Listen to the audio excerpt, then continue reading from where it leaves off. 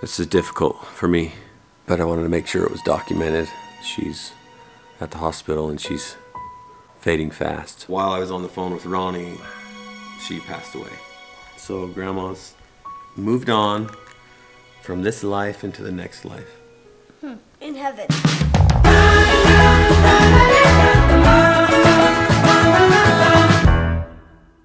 So, last night my parents had me go to bed at like 9 o'clock thinking that would help.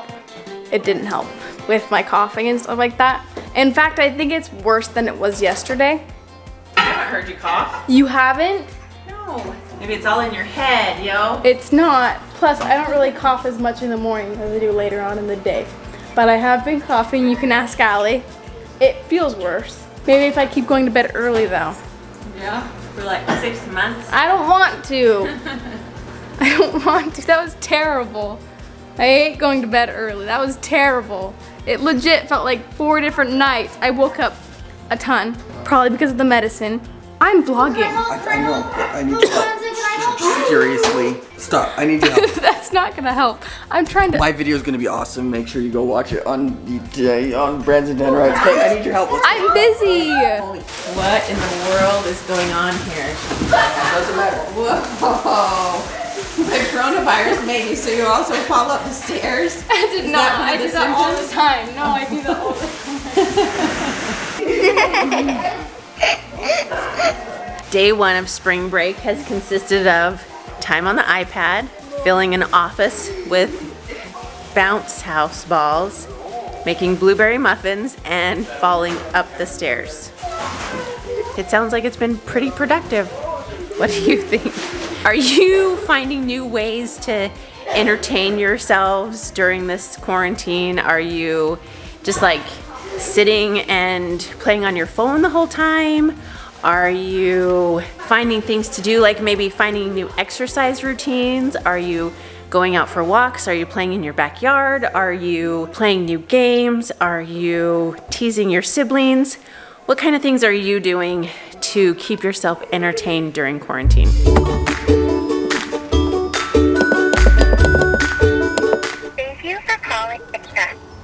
Because of the COVID-19 pandemic, Intex has chosen to minimize the workforce in order to ensure the safety and welfare of our employees. The call center will be temporarily closed until further notice. The office is closed until further notice. Guys, I came out here to check on this pump um, and check on the pool to see how we're doing in terms of temperature. The pump is not working. It's not turning on, and my pool is setting here, not getting circulated, and this pipe right here is starting to look green, and I hope it's not because it's getting algae in it. I can't afford to have this whole entire pool go green and grow algae because then I've got to drain the entire system. But with COVID 19, the office is closed. How am I supposed to get this back up and running? I hate to do this. I might have to actually take these screws out, check to see if there's something internal that's wrong. But this is only two days old, like maybe four days old. Maybe I just might have to get inside of there and just run around and mix it myself. I don't know. Dude, that's not good. Not good at all. Probably gonna clean this mess up, yo? Put it through the window. Okay, Branson just played a very mean, nasty trick on me on his channel. Yeah, as you can see, this is what's happening. Yeah, I'm, I'm tired because it's it's very difficult getting out of a whole room filled full of pit balls. You know, were you in on this? I can either confirm or deny. These punks. Branson just played a mean, nasty prank on me.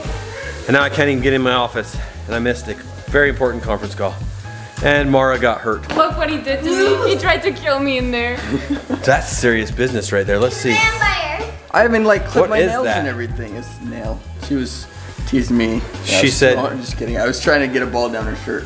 By the way, I'm wearing shorts and it's cold. The balls are really cold up against my ankles. Yeah, you're gonna have to check out Branson's channel to see the video. You may have already seen it, guys. Whoa. We have you seen that TikTok where the guy's laying down and they stand up and the girl's on his back and she ends up on his shoulders? Mm-hmm. We tried that, and that's as far as we got.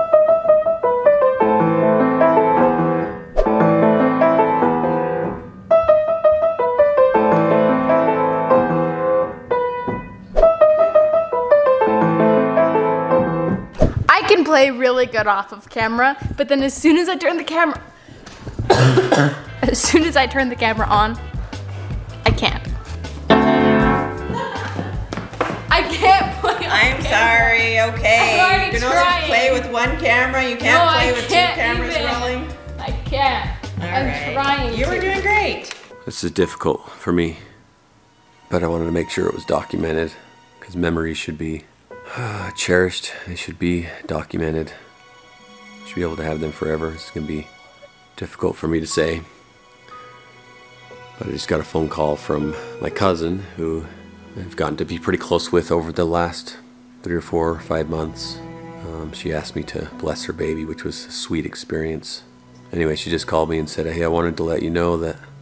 that mom, grandma, she calls her mom because she was adopted by my grandma.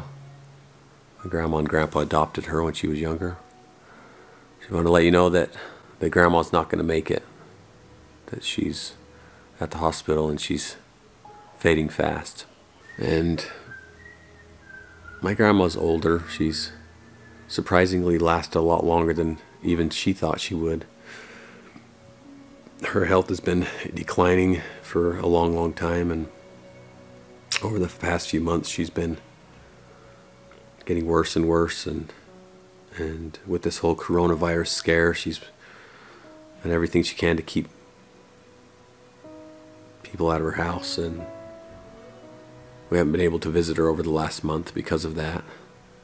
And she ended up in the hospital last week, and it's the place that she absolutely hates more than anything else in the world. She hates being in the hospital. She didn't want to be in the hospital. So I can imagine how miserable she was in there. She's still alive right now. I called all of my siblings and let them know so they could get over there. Unfortunately, I'm about three and a half to four hours away, and I'm not going to make it in time.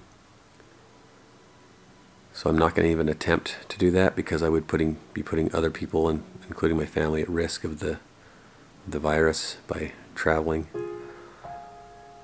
So I've made the decision not to go and try to make it in time. Mainly because I believe the last time I talked with her, I felt really good about how much I let her know I loved her and appreciated her, and we had a good chat. And I think she knows how much we care about her. Sarah and I had a phone call with her about two weeks ago. She sounded horrible, and I, I remember hanging up the phone and telling Sarah, she's really, really sick and, and doesn't sound like she's getting any better. But I didn't expect her to end up in the hospital. Anyway, I, I won't give the details, but she had to ride in the ambulance to get to the hospital, and that was probably hard because she could only have one person ride with her at that time, and not having family being able to visit her as much as she would have loved to was probably difficult. But as of right now, it's, it's a waiting game, waiting for that phone call.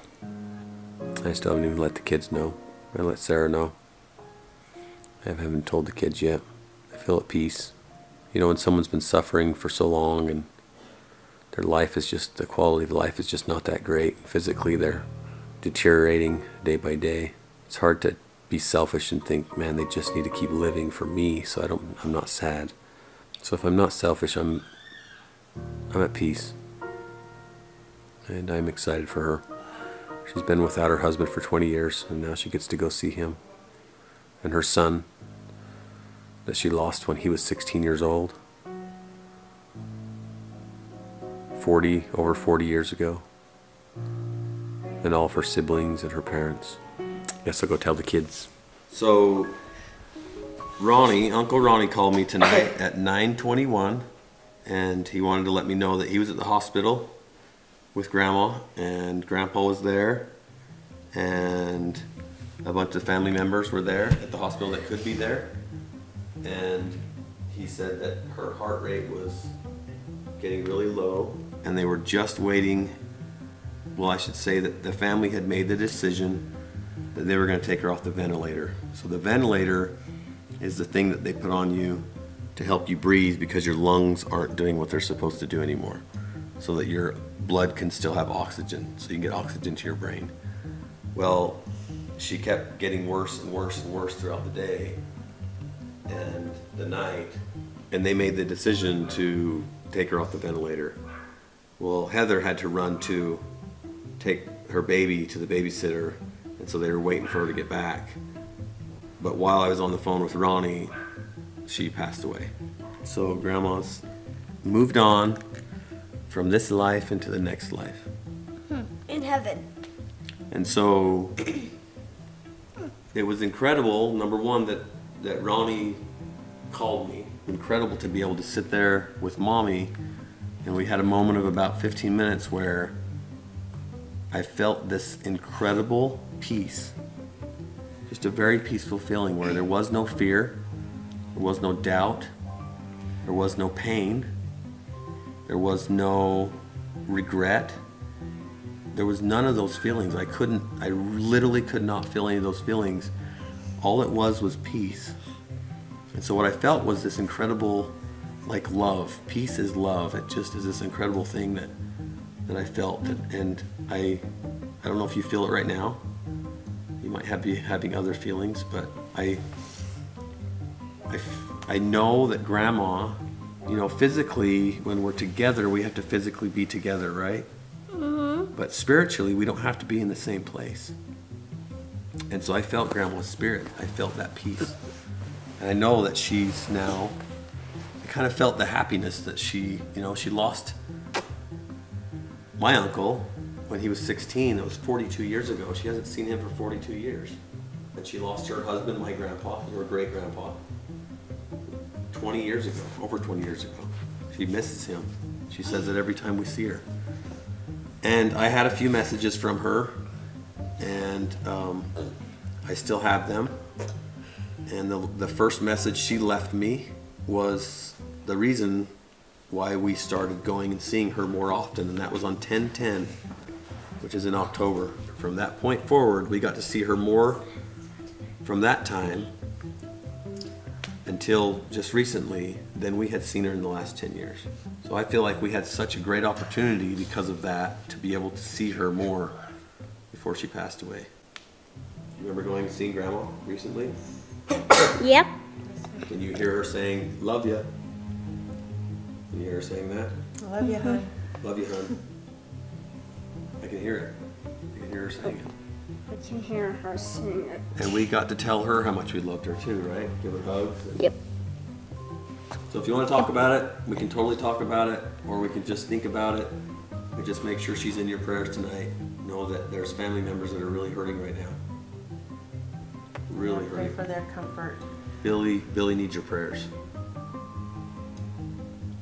There's stuff that Billy's going to be going through for a while that's really going to be difficult because Grandma was his purpose, and he has to figure out a new purpose in life now. That's very difficult. He did incredible things for Grandma. He literally lost himself for Grandma. He took care of her every need and completely gave up everything that he could have in life. Everything. Her own son took care of her that, that well. I can only hope that I could care about someone that much in life. So make sure you pray for, for those people that need their hearts healed. There's lots of teeth that need brushed in this room. Love you. Can you give me milkies? Oh, you want milk? Yeah. okay. I love that. Um, I'm in here, and uh, this is what I do every night. I tell them good night the first time, and then they up and they go to bed, and then I come back and tell them the second time. Typically, they're asleep like this Moshikino is right now, and uh, sometimes they don't remember it, but it's a routine that we have, huh? Just want to just let you guys know that, and let myself know, and just like a little reminder that. Um, that death is just a part of life. If you have life, you have death. And the other part of that is that we never know when we're going to go. We just have no clue. And that's one of the great mysteries of life is to not know when it is over for you or for someone else. And I think one of the things that we take for granted is is the mystery of that is to know each day that we just don't know how much longer we have. And while life seems so difficult at times, death seems even more difficult to understand. And when we have this life to live, we're only given this one life, and so she, we should really do our everything to live it the best possible way we possibly can. And so just death is always a reminder to me that life is so good. And once again, as difficult as it is, it brings me peace to know that my grandpa gets to see my grandma again. It's been 20 years, 22 years since he's, I guess 21 years since he's been able to see her and there's so much, as much, as much sorrow is happening here on this side when someone passes, there's so much celebration happening on the other side. And that can too bring us so much peace. And I still just have so much peace right now. I, it's, it's such a calming feeling. And I believe it's because of my faith knowing that this life is not just the end when we're done. There's so much more. And I think we get little glimpses of it throughout our life. And death is one of those glimpses when we when someone else passes. We just get that little small glimpse that, that we're holding on to and knowing that they're still here with us in spirit. And Their bodies give it up. We love you guys. We're grateful for you.